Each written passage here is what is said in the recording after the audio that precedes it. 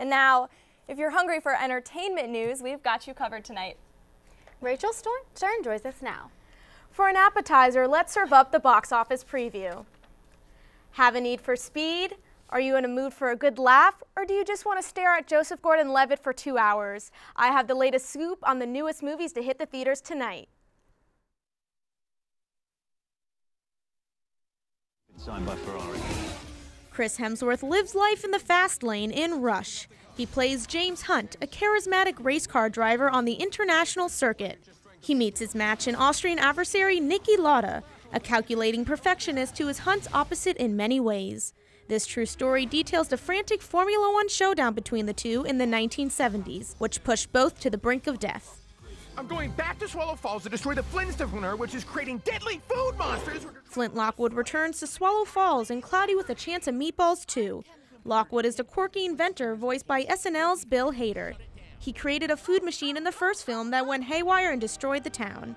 Now he's back amid reports of food animals, but may not survive confrontations with shrimpanzees and tacodiles. Can't go to my little sister's wedding single. Paula Patton is on the fast track to matrimony in Baggage Claim. She's thrown for a loop after her little sister gets engaged. So the flighty flight attendant uses her job to accidentally meet up with traveling ex boyfriends in hopes she'll find a keeper. My body, my pad, my ride, my family.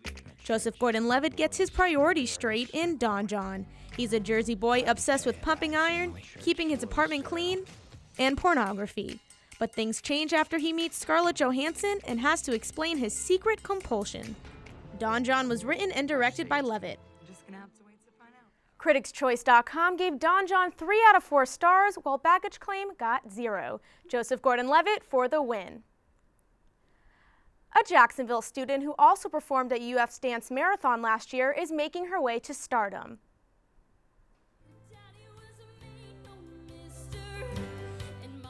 Rion Paige has landed a spot on the hit talent reality show X Factor. Simplify Stores hosting an intimate performance this Sunday to raise money for her journey. Jamie Davis, who's a great singer from right here in the area, came to me and said, "Hey, you got you got to hear the story about this girl, and she's working really hard to live her dream, and I think we can kind of help her get here." The 13-year-old country singer who Simon Cowell compared to Carrie Underwood is performing this Sunday night at 6 p.m. All donations will go to Rion's family to help cover traveling costs throughout her X Factor experience. Two big actors went head-to-head for the return to the small screen last night. I'm back. Mork and Mindy star Robin Williams stars in the CBS comedy The Crazy Ones, the story of a larger-than-life advertising genius whose unorthodox methods and unpredictable behavior would get him fired. If he weren't the boss.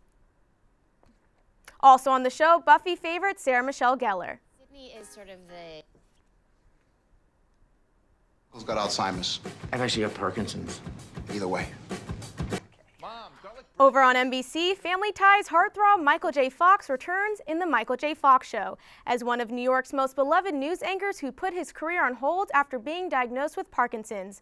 Five years later, he decided to return to work in the new studio despite his challenges. Williams versus Fox, who came out on top? Robin Williams. The Michael J. Fox show had 7.3 million viewers overall, while the Crazy Ones had over double with 15.6 million viewers overall. You know, ladies, I think the reason that Michael J. Fox didn't come out on top was because of Parkinson's.